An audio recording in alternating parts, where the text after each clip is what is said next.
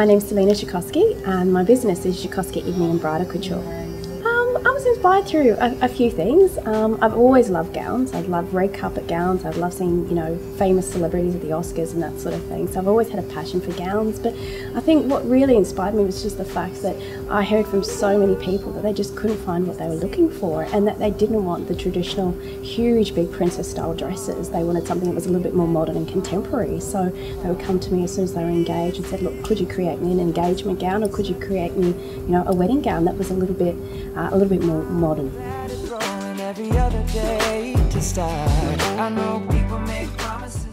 I studied at the University Technology Sydney. Um, it was a while ago now, but from then I've also, also just been doing my own study. So that means looking at uh, vintage garments, so maybe even going into museums and looking at the archival pieces.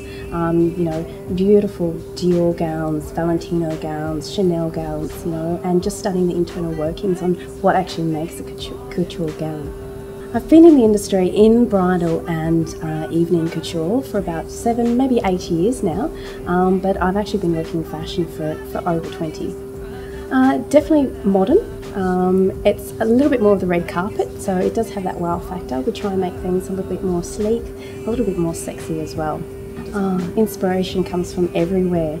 Um, it could be a film that I've seen, whether it's an old film or something that's quite new as well. Um, I might be at the art gallery looking at an amazing exhibition, um, looking at various um, fabrics and textures, new, new um, trims that are available in the market as well. And sometimes too, it's also my clients. They come in and they want that wow factor. They want something that's very unique, very different, and, and for me to design something that's just for them.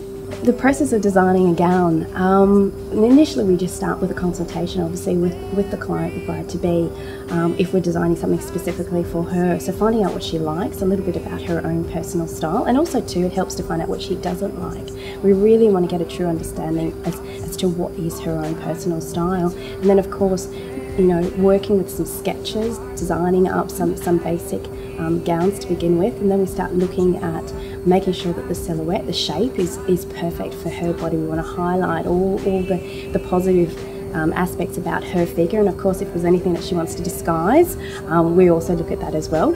Um, and then we start looking at um, working with the different fabrics, so making sure that we've got colours that are going to work with her complexion, and then the textures as well. So, and gradually start building up with that initial design idea until we get that final, final gown.